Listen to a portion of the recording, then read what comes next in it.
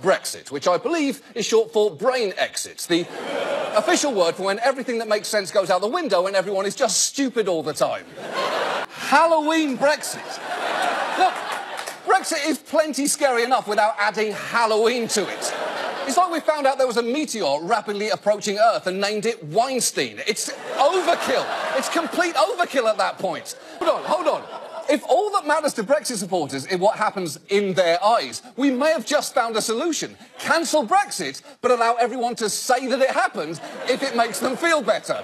That way, no devastating economic consequences, and Brexit supporters get to live happily ever after in their own personal United Kingdom of the imagination. but, but Julian Assange, the most controversial Australian export since Vegemite. This, that's a weird tone to take on a story that's this important. Yes, his arrest sparks a difficult debate about the efficacy of journalistic protections in the age of cyber espionage, but look how bad he looks.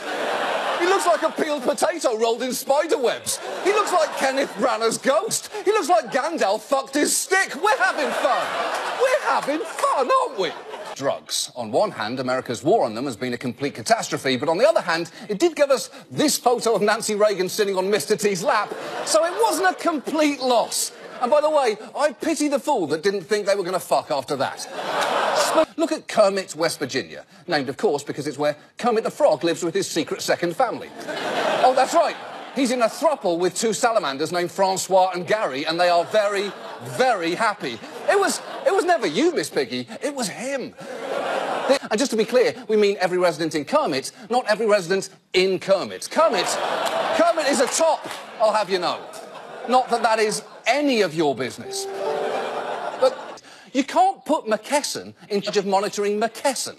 If the bears in your zoo get out at night and start mauling the other animals. You don't deputise one of the bears to monitor the situation.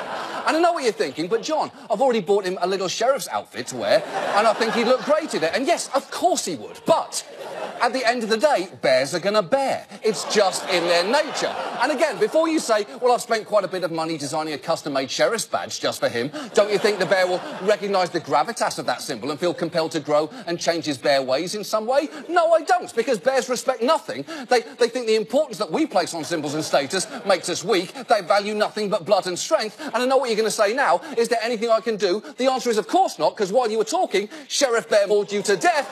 You're dead now. Goodbye why, why are we still talking about this? Put him in jail!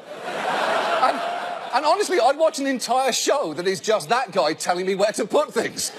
McKesson executives, put him in jail! These carrots, put them in soup! This group of corgis, put them in tiny boots! They should be in boots! It would be like using cocaine for a toothache, which, incidentally, back in the 1800s, people actually did. What an idea that was. My tooth hurt this morning, but I took some medicine, and now I'm really fucking psyched about 20 different business ideas. I'm going to write a screenplay. I know it's the 1800s. Not bad for a family whose very name sounds like a hamburglar-like villain that steals testicles. Oh, no! The sackler came in the middle of the night and now my penis is shivering.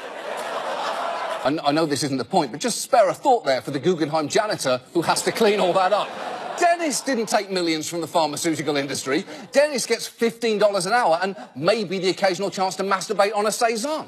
Look, look, hey, I didn't say he was a good janitor. I just said you should think about it. The, the blizzard will be so deep, dense, and white. And look, as a tagline for Frozen 2, that's pretty good. But it's troubling when applied to addictive fucking painkillers. He's an incredibly rich man, and it's genuinely easier to find multiple image options of birds standing on turtles or babies that look like Wallace Shawn. And let's, let's all agree, those babies look a lot like Wallace Shawn. It also doesn't even make any sense. He's furious at the people who are part of the problem, but the people he's angry at helped make him incredibly rich. You don't see Adam Levine releasing a song condemning horny middle-aged women because that would be hypocritical. Who do you think made you who you are, Adam?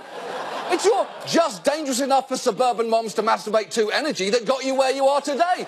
Show some respect to your base, son.